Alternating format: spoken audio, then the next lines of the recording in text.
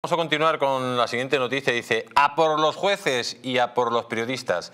El galvanizado PSOE de Sánchez ya ataca a los tribunales. Tenemos al otro lado de Sky a nuestro querido Rubén Gisbert. Buenas noches, don Rubén, ¿cómo está usted? Muy buenas noches, Jesús. ¿Qué tal? Buenas noches. Em, lo que se está viendo en estos instantes, que salga un presidente de gobierno que dice que va a dimitir porque se ha iniciado una investigación contra su mujer y salga cinco días después diciendo básicamente voy a ir a por vosotros y voy a cerrarlos y voy a controlarlos por los jueces y por los medios que van a cerrarlo, eh, ¿cómo se puede definir? Bueno, pues como un paso más, como un paso más de la trágica deriva en la que vivimos en este estado de partidos, en el que desde luego, bueno, a pocos entiendo que hay una parte que sí. Eh, en mi caso particular, yo hice un análisis público de la carta el pasado jueves en el que ya advertía y decía que de ninguna manera Pedro Sánchez iba a dimitir y que ya se podía ver claramente por el lenguaje empleado y por los modelizadores empleados que se trataba de una estrategia, de una estrategia que lo que buscaba era una respuesta. De hecho, incluso en la propia manera de dirigirse y de nombrar lo que ha hecho el presidente se, se puede empezar ya a advertir. Una carta no es un comunicado o un mensaje a la nación, como suelen hacerlo los presidentes en cualquier caso, incluso en las divisiones, como Reagan, como Reagan, perdón, como, como Nixon.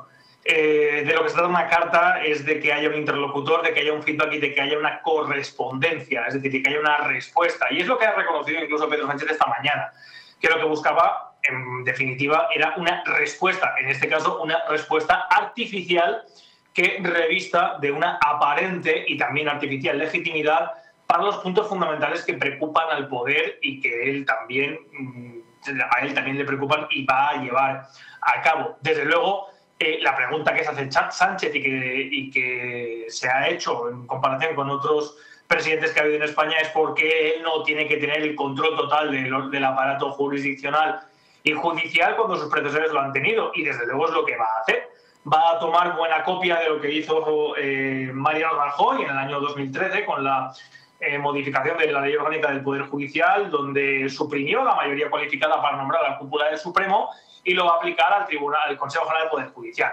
Pero al mismo tiempo, lo que más ha repetido y lo que más parece que le preocupa y, les preocupa, en solamente al, al, al PSOE y a Pedro Sánchez, es Internet es que cada vez los coladeros de información donde se hacen análisis críticos, donde hay divulgadores independientes, donde no están bajo el control de los medios de comunicación, pues suponen una problemática. Lo ha dicho Pedro Sánchez y lo ha dicho esta misma noche con la entrevista que le han hecho, donde directamente ha reconocido que si no fuera por algunos medios digitales, no se produciría el arrastramiento, ha dicho literalmente, a ciertos debates. Es decir, que hay cuestiones que se debaten, que llegan a la esfera pública exclusivamente porque se tratan de Internet y eso hay que acabar con ello. ¿Y cuál es el instrumento para acabar con ello? Pues la que se aprobó hace un año, la Ley General de Comunicación Audiovisual, que permite directamente por parte de la Administración Pública el cercenamiento y el cierre de medios o el encausamiento a través también de, diferentes procedimientos administrativos para dirimir a criterio político qué es desinformación y qué es información, qué son bulos y qué es verdad. Eso se va a producir, ya se está produciendo. Yo mismo estoy encausado en un procedimiento de delito de odio, hay otros como Begoña Gerpe que también están en la misma tesitura. Es decir, vivimos algo que se ha hecho ininterrumpidamente en esta partitocracia, que es apuntalar la falta de democracia. Cuando el presidente habla precisamente de regeneración democrática, de lo que está hablando es de la regeneración de la oligarquía, de la falta de libertad. Necesita el consenso fundamental del Partido Popular para llevar esto a cabo. Veremos si finalmente lo consiguen algunos puntos porque si no lo va a tener harto complicado ya que la ciudadanía, la gran mayoría, está viendo la maniobra que se pretende por parte del gobierno para terminar de copar el control mediático y político de los órganos jurisdiccionales de este país. ¿Cree usted que vamos al conflicto civil, que Sánchez nos lleva a un conflicto civil? No, no, desgraciadamente eh, creo que la, desgraciadamente no, vayamos no vamos al conflicto civil, sino que la ciudadanía está muy aletargada vivimos en momento en el que la ciudadanía lo que quiere es seguir pagando más o menos su hipoteca, seguir más o menos dentro de las circunstancias de bienestar que ha conocido en las últimas décadas y poco más.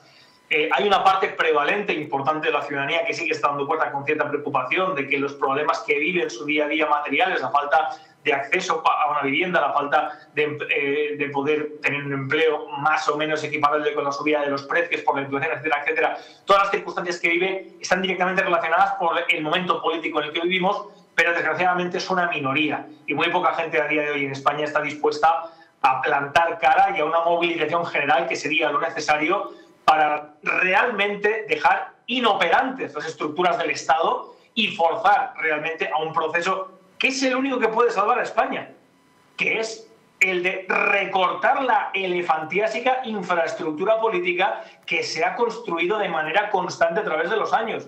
Es que cuando echamos un vistazo a los datos de cómo en España se aumenta el gasto, se aumentan los empleados públicos, se aumenta la administración, las consejerías, las diputaciones, las comunidades autónomas, todo lo que depende directamente de todos los partidos se va multiplicando elefantiásica y de manera constante. Y la tentaculización de la política en todos los aspectos de la vida de los ciudadanos es cada vez más preocupante. Y eso lleva de manera desmedida a un gasto público que requiere de 70.000 millones cada año, que dispara la inflación, que ya ha dicho el Banco Central Europeo que esto hay que pararlo como sea. Están esperando las elecciones en Estados Unidos para ver, para ver si bajan tipos con muchísimo miedo, porque la que puede venir es enorme y la que vendrá seguro, ha sido creada por esta clase política inoperante e ineficiente que nos lleva y nos ha llevado a la ruina.